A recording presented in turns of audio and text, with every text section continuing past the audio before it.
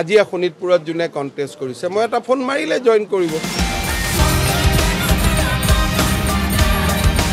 মই ফোন কৰিলেই শোণিতপুৰৰ কংগ্ৰেছ প্ৰাৰ্থীয়ে লগে লগে আহি বিজেপিত যোগ দিব।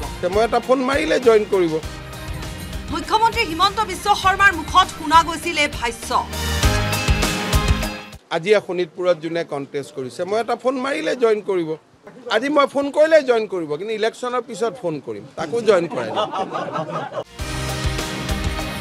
ভূপেন বৰায়ো বিজেপিত যোগ দিব বুলি বিস্ফোৰণ তোলাৰ পিছতে মুখ্যমন্ত্ৰী ডক্টৰ হিমন্ত বিশ্ব শৰ্মাই কংগ্ৰেছক ৰুধিবলৈ প্ৰয়োগ কৰিলে আন এপাত পাশুপাত অস্ত্ৰ এতিয়া কংগ্ৰেছে বিজেপিৰ ফোন অহালৈ বাট চাই থাকে। মুখ্যমন্ত্ৰী হিমন্ত বিশ্ব শৰ্মাৰ ভাষ্যই তেনে এক দাবীৰে ইংগিত দিলে। আজি শোণিতপুৰত যোনে কণ্টেষ্ট কৰিছে মই এটা ফোন মাৰিলে জইন কৰিব। আজি মই ফোন কৰিলে জইন কৰিব কিন্তু ইলেকশ্যনৰ পিছত ফোন কৰিম। তাকো জইন কৰাই। প্ৰেম গুঞ্জুৱে হওক আপ আছে কাকো বেয়া ক'ব হাক দিছোঁ কাৰণ নদী গৈ সাগৰতে পৰে সকলো মানুহে এদিন আহি বিজেপিতে যোগদান কৰিব। পিছে কিয় ফোন কৰা নাই হিমন্ত বিশ্ব শৰ্মাই?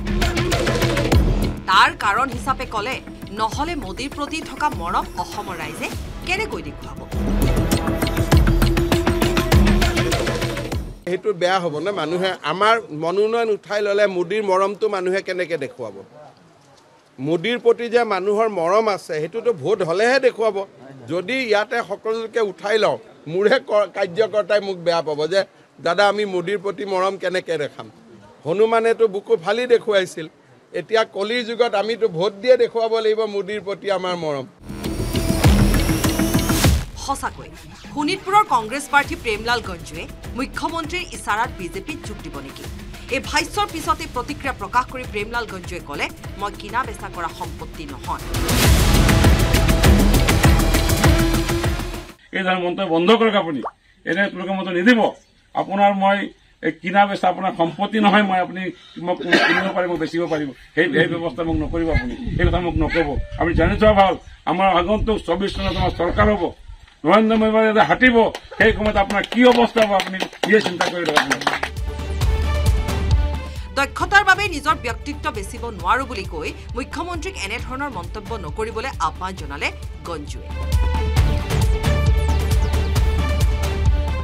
মই বিশ বছৰে কংগ্ৰেছৰ পৰা টিকেট বিচাৰিছো মই মই বিশ বছৰে মই এম এল টিকেট কিন্তু মই নাপালো। তথাপি মই কংগ্ৰেছৰ লগত মই আছিলো। গহপুৰৰ পৰা পলাশ ফুকনৰ report news eighteen Assam north east.